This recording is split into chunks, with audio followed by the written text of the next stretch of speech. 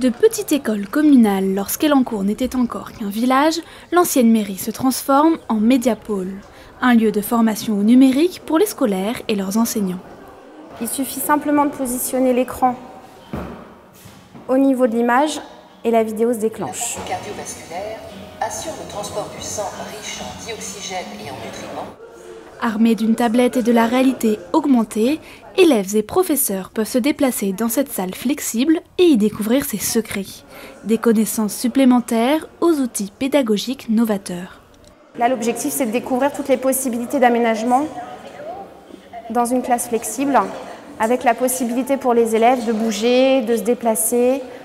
Euh, d'être en mouvement, parce que c'est pas forcément assis et immobile qu'on apprend le mieux. Donc c'est aussi découvrir qu'on peut travailler autrement. Inauguré le 24 juin, ce médiapôle répond à l'ambition d'une éducation numérique pour tous, fortement portée dans le département et dont l'agglomération de Saint-Quentin en Yvelines se veut actrice.